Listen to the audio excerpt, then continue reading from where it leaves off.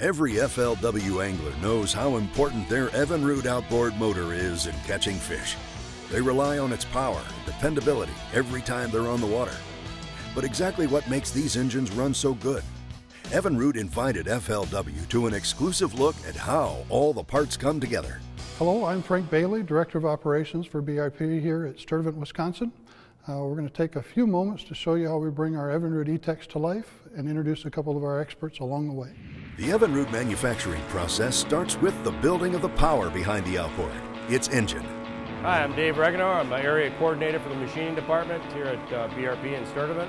We're in front of the Eagle Rail, what we call the Eagle Rail. This is where we machine the uh, blocks for the outboard engines, two-cylinder, all the way up to the uh, big V6s. You see one of the pallets bringing a block onto the fixture, onto the vehicle. That'll deliver it to the machine. We run every product every day. Immediately after that, and all blocks get the same process, we press the sleeves in, and we do them all from the two-cylinder up to the big one. So. This is our final machining operation, which is to hone the cylinder bores. We size them to our finished size, and we create the crosshatch, which gives the surface finish for oil retention. Now we're at the beginning of our powerhead build line. Now the machining is on its way and the lower units are nearly done. We start building a powerhead down this line.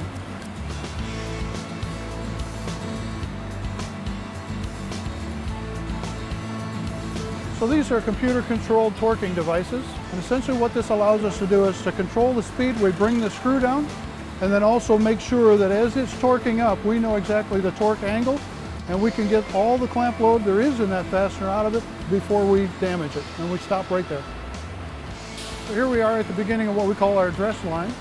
At this point now, the rotating assembly is all put together, and on the signal we need to match the lower unit that's coming to us. They'll start this operation down the line. We put on all the electronic controls, the fuel system. By the time we get to the end of this line, it's a motor ready to run. With the engine built, we can turn our attention to the wheels of the outboard, the propeller assembly. Pre-built at another facility, the propeller unit begins the process with a coat of primer. Hi, my name is Rick Stimps. Uh, we're here at BRP. I'm the production supervisor for the paint area here. Right now we are looking at where the units go into paint and primer primer area basically is the start of our four hour lag time process. We'll put in a coat of epoxy primer on them, and what we do here is we actually color code them. So any of our lighter colored motors get a lighter color primer, uh, darker motor gets a darker color primer.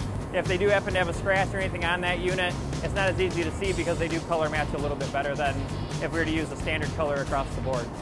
After we put the epoxy primer on, goes through a quick flash off, then it's going to hit an oven at about 225 degrees and it's going to bake out. The one behind me here coming out of the oven you see is actually done in a, our black primer, which means this one's going to be probably a blue unit. Um, after it comes out of here, we are to look at that one more time through a final inspection. Um, if there's any type of defect in that primer surface, they're going to fix that before it goes on for the final coat. Pretty much the same process as you see in the primer booth. They're going to have a guy undercoating them with an electrostatic gun, top coating with a conventional gun, make sure that we're getting all that surface covered the way it should be for a long life in the field.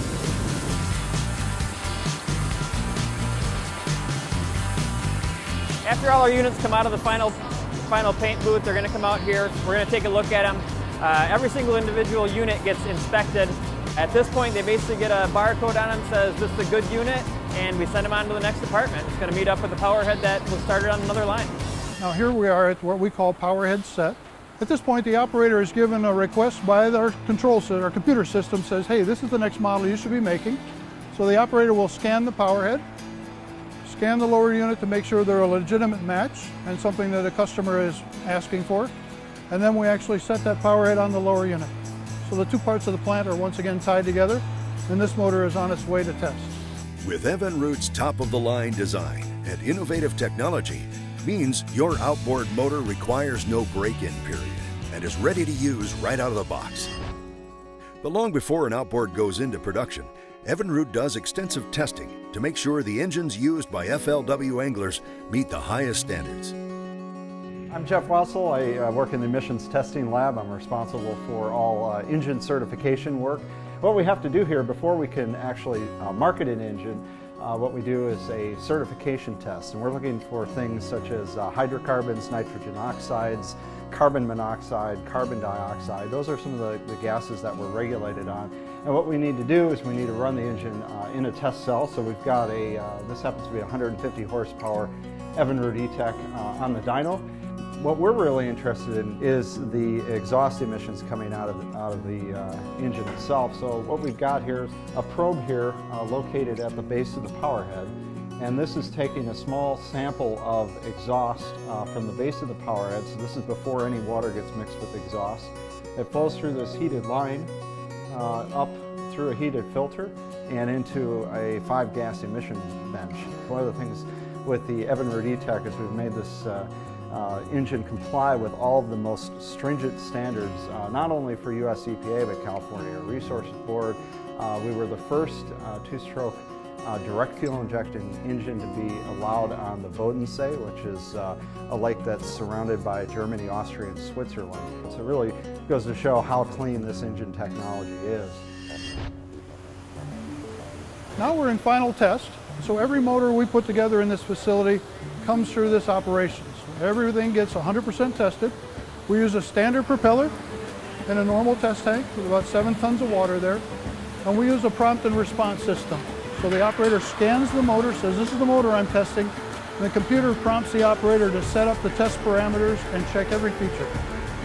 By the time we're done with this test, we will have checked a whole host of parameters from idle quality to oil flow, airflow, fuel flow, water pressures, temperatures, RPMs, alternator up with the whole smack. If it's not exactly what's expected, we send it to repair to check it. So here we are at the end of our what we call our shine line. It's where we're put, putting the finishing touches on the motors. All of these have passed our rigorous tests, and at this point, they're on the way to our customers for more time on the water. As you can see, a lot goes into making an Evinrude outboard. And with this quality, technology, and dependability, you, the angler, can focus on what you love catching bass. Time to rock and roll, folks! Showtime!